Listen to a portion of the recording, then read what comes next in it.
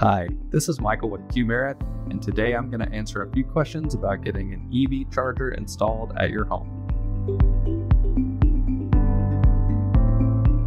The installation price for a home EV charger will vary depending on your project requirements, but typically ranges from $7.99 to $19.99. This is outside of the EV charger equipment itself. In general, the distance of your EV charger from your home's main electrical panel is the primary cost variable in an EV charger installation. The closer your charger is to the panel, the lower the installation cost.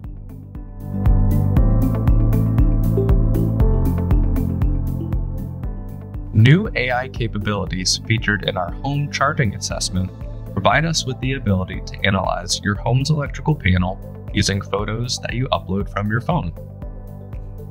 Quotes are presented in real time with predictive permit pricing and the ability to add an EV charger to your cart. In most cases, you'll receive an instant estimate based on the responses you submit through our digital assessment.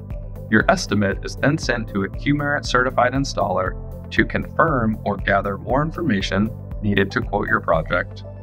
Qmerit has partnerships with industry leading auto manufacturers.